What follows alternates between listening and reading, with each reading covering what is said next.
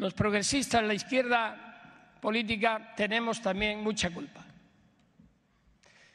La izquierda y el progresismo son respetuosos, siempre lo han sido con el Poder Judicial.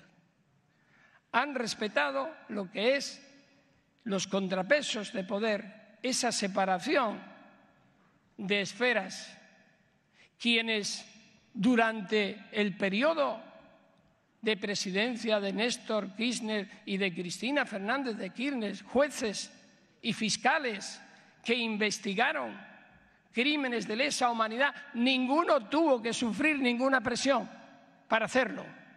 Lo hicieron porque era su obligación, porque son servidores públicos.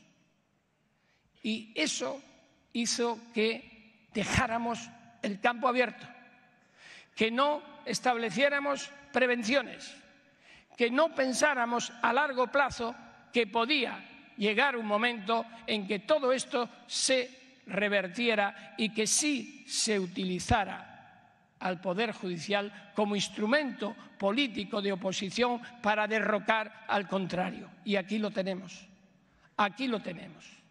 Pero no es tarde, estamos denunciándolo y vamos a seguir denunciándolo a nivel nacional, a nivel regional, en el sistema interamericano de derechos humanos, a nivel internacional, en comités de la ONU, en todos y cada uno de los lugares, hasta que seamos no miles, sino millones los que gritemos que esto no se puede consentir. Y estos jueces y fiscales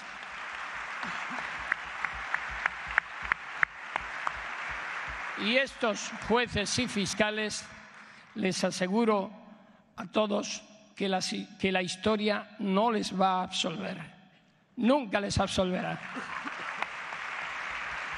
Y mientras tanto, mientras tanto, quiero terminar con una frase de Juan Gelman, que dice, hay que aprender a resistir, ni a irse ni a quedarse, a resistir, aunque es seguro que habrá más penas y olvido, pero tenemos que resistir y actuar. Muchísimas gracias.